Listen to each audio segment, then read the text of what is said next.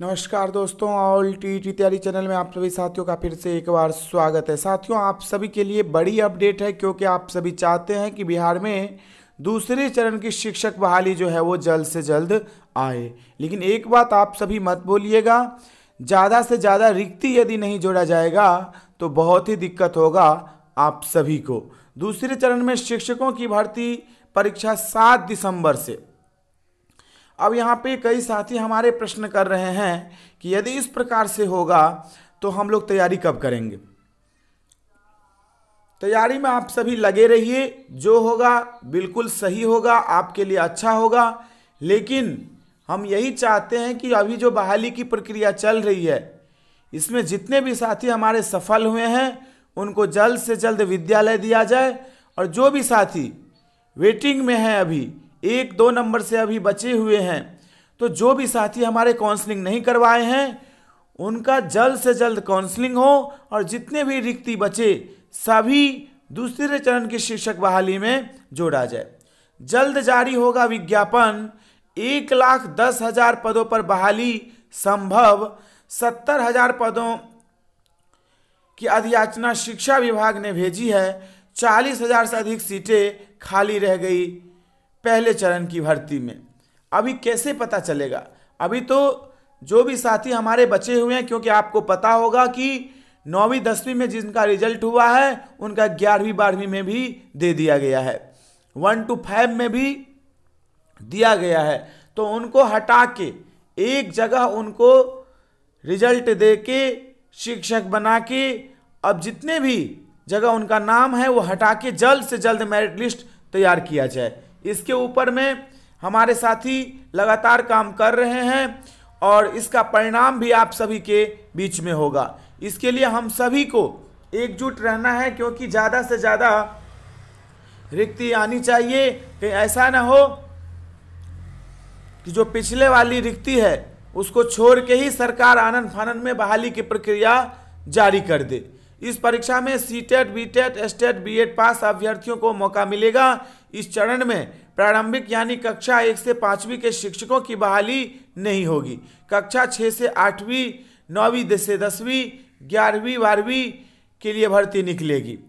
तो इसके अलावा अति पिछड़ा एवं अति पिछड़ा कल्याण विभाग के अंतर्गत प्रारंभिक शिक्षक, प्रशिक्षित, माध्यमिक शिक्षक, स्नातक प्रशिक्षित एवं उच्च माध्यमिक शिक्षक, स्नातकोत्तर प्रशिक्षित प्रधानाध्यापक पद के लिए आवेदन कर सकते हैं। दो बहाली की यहाँ पे बात की जा रही है, जो आप सभी के सामने में है। छह लाख शिक्षक अभ्यर्थियों ने अपना अंक पत्र किया डाउनलोड, क्योंकि कल आप सभी को पता है कि अंक पत्र दे दिया गया था। दस्तावेज़ सत्यापन में मिले अयोग्य शिक्षक अभ्यर्थियों को नोटिस भी भेजा गया है कि जल्द से जल्द आप अपना जो है वो स्पष्टीकरण दे कि आपने गलत जानकारी देकर के क्यों फॉर्म अप्लाई किया क्यों समय बर्बाद किए और जो भी साथी हमारे अभी वेटिंग में है, वो उनके ही वजह से हैं, क्योंकि गलत जानकारी दे करके उन्होंने फॉर्म अप्लाई कर दिया, लेकिन काउंसलिंग करवाने के लिए नहीं आए डीबी करवाने के लिए नहीं आए। बीपीएससी के सचिव ने बताया है कि आयोग जल्द ही इसके लिए विज्ञापन जारी करेगा। विज्ञापन जारी होने के बाद आवेदन प्रक्रिया शुरू होगी। आवेदन लेने की प्रक्रिया पूरी तरह ऑनलाइन रहेगी। बीपीएससी के अनुसार इसकी चरण में पिछड़ा एवं अति पिछड़ा कल्याण विभाग के अंतर्गत भी शिक्षक और प्रधानाध्यापकों की भर्ती होगी। अभी संभावित तिथि है। आप सभी अपना कागजात पूरी कर लीजिए। कई साथी हमारे कह रहे हैं कि सिर्फ़ 11 दिन का समय दिया जाएगा। फॉर्म अप्लाई के लिए देखिए, ऐसा संभव नहीं है। एक महीना का समय ज़रूर दिया जाएगा। नहीं, एक महीना का तो 25 दिन का समय ज़रूर दिया जाएगा। और इसकी परीक्षा जो है वो ज़रूर कम से कम नहीं तो 40 या 45 दिन बाद ही होगी। लेकिन तैयारी में आप सभी अपना लगे रहिए। एनसीईआरटी जो भी साथी हमारे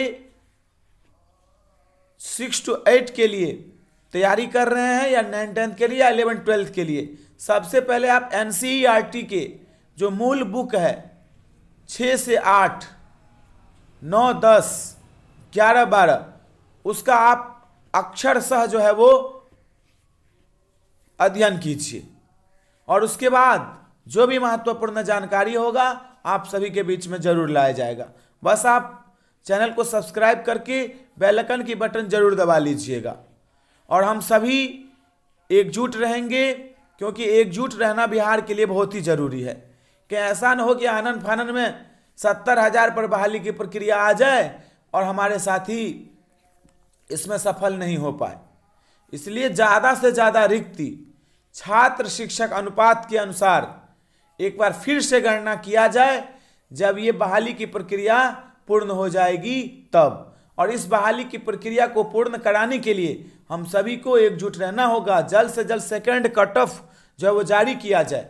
यदि सेकेंड कट ऑफ़ जल्द से जल्द जारी नहीं किया जाता है, जो साथी हमारे बिल्कुल ही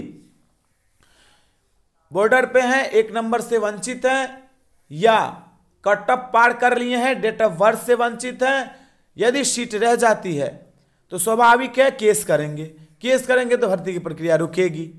क्योंकि कोर्ट तो यही कहेगा ना कि आपके पास सीट रहते हुए आपने बहाली को क्लोज कैसे कर दिया।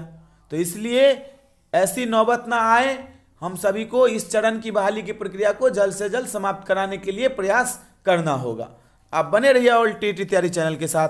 पल पल का अपडेट आप सभी को देता हूँ, देता रहूँगा, विश्वास दिलाता हूँ। अभी के लिए इतना ही, फिर मिलता है अगले वीडियो में। सर धन्यवाद साथियों।